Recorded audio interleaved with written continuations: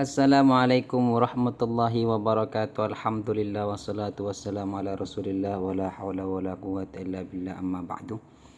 Semoga kita selalu diberi kesehatan zahir dan batin, dimudahkan segala urusan kita dan dilancarkan rezeki kita dan kita berharap kepada Allah semoga hajat-hajat kita dikabulkan oleh Allah Subhanahu wa taala. Amin Allahumma amin.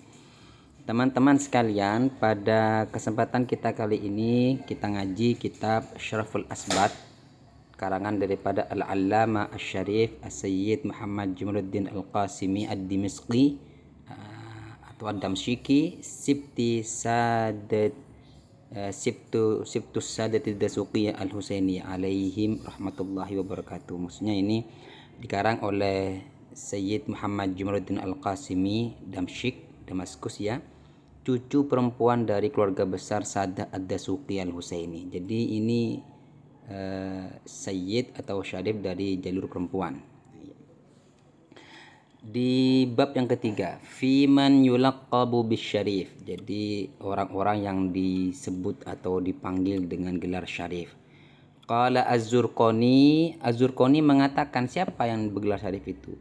Kana ismu syarif yutlaku fi sadril awal ala man kana min alil baiti sawa'un kana husainiyan aw has Hasaniyan atau Husainiyan atau Alawiyan atau Abbasiyan atau Ja'fariyan atau Agiliyan ولهذا تجد تاريخ الحافظ الذهبي مشحونا في التراجم بذلك يقول الشريف العباسي jadi eh, Az-Zurqani mengatakan gelar syarif itu dulu pada masa-masa awal disandangkan kepada keluarga Nabi baik itu dari jalur Sayyidina Hasan atau jalur Sayyidina Husain atau dari keturunan Imam uh, Imam Ali eh Sayyidina Ali dari anak selain uh, Sayyidina Hasan Sayyidina Husain ya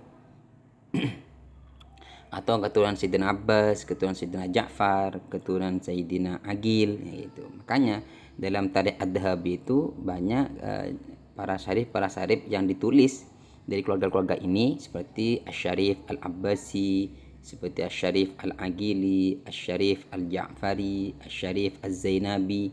Nah, ini Az-Zainabi itu jalur dari Sayyidah Zainab uh, saudara daripada anu apa Sayyidina Husin ya.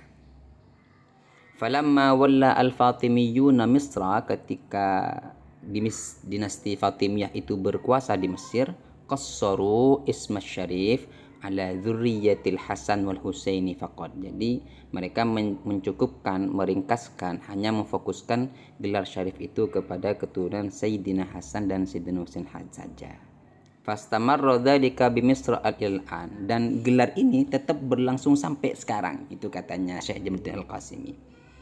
Qala al-Hafidz Ibnu Hajar fi kitabi Nuzhati al-Bab fi Ma'rifatil Alqab jadi Al-Hafidh Ibnu Hajar dalam kitabnya Nuzhatul Albab fi Ma'rifatil Alqab uh, waqad lukiba bihi jadi dan dan telah dilakopi dengan kalimat syarif itu yakni asyarif kullu abbasiyin di Baghdad. Jadi di zaman dulu itu Ibnu Hajar dalam kitabnya itu mengatakan di Baghdad itu keturunan Sidin Abbas di di digelari syarif dan wa kullu alawiyin di Misra dan ketuaan dari Sayyidina Ali di Mesir. Di Mesir itu mereka menggelar apa?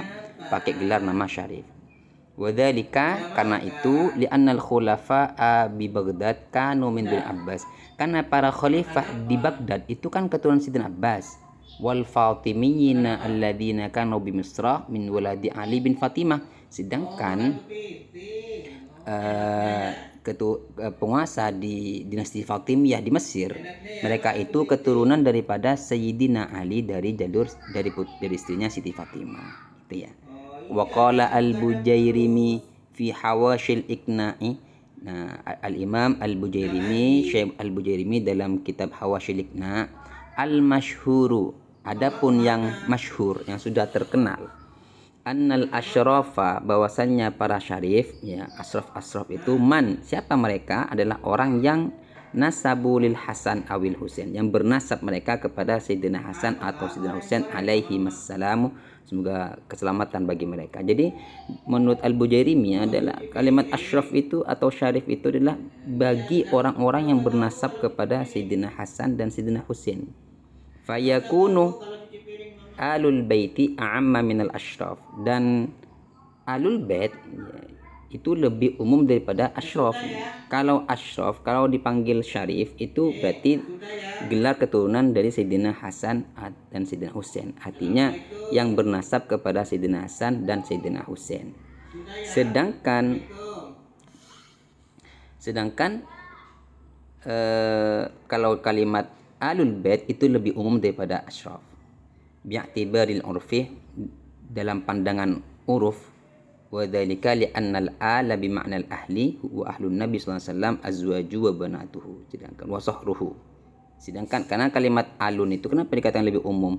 Karena kalimat alun kan keluarga. Keluarga nabi berarti kan termasuk istrinya anak-anak perempuannya juga mertuanya itu masuk keluarga gitu.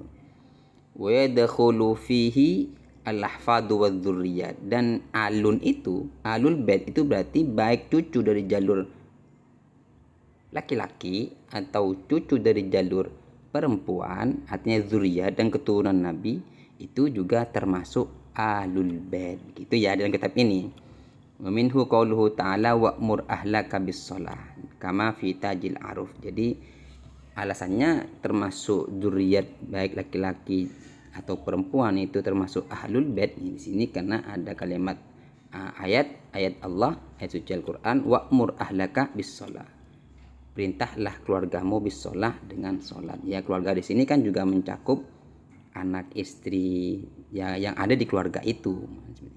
Jadi eh, inilah eh, apa namanya itu keterangan mengenai asal muasal gelar syarif ya. Jadi dulu dulunya memang syarif itu umum. Jadi keluarga Sidin Abbas juga dipanggil syarif keluarga Sayyidina Agil dipanggil Syarif gitu.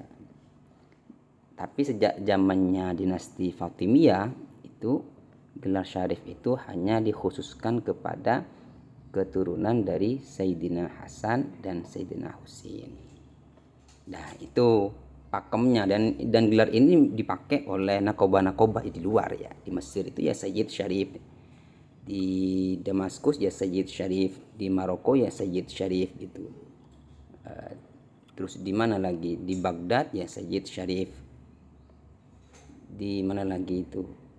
Artinya di seluruh hampir-hampir seluruh Nakobah memang menggelari keturunan Sayyidina Husain dengan Sayyid Syarif karena memang ikut pakemnya ya pakemnya yang dipakai oleh nakobah-nakobah yang di luar. Nah itu teman-teman sekalian tentang uh, asal muasal atau cerita gelar daripada Syarif. Demikian kalau lebihnya. Wassalamualaikum warahmatullahi wabarakatuh.